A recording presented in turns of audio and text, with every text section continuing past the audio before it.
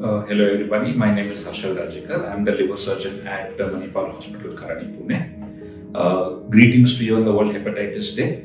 Uh, every year, 28th of July is celebrated the World Hepatitis Day in memory of Dr. Blumberg, who discovered hepatitis B virus.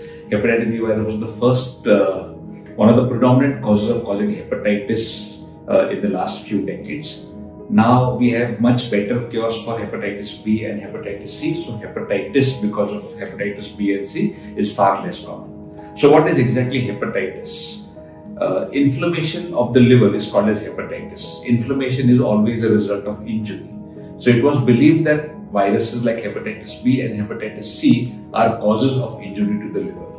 But now we understand that alcohol, drugs, fatty liver, everything can cause inflammation in the liver and all of this can cause hepatitis.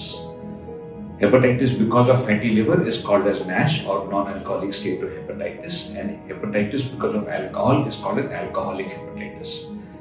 Non-alcoholic uh, steatohepatitis can be damaging in the long run and may eventually cause liver failure and need a transplant, whereas alcoholic hepatitis can potentially be fatal.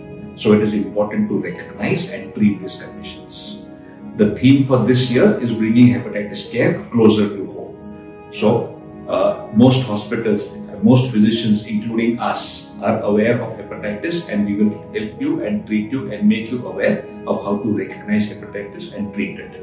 The most important thing is to screen for hepatitis. So testing, simple blood tests and ultrasound examinations are enough so get yourself tested, find out hepatitis and treat hepatitis.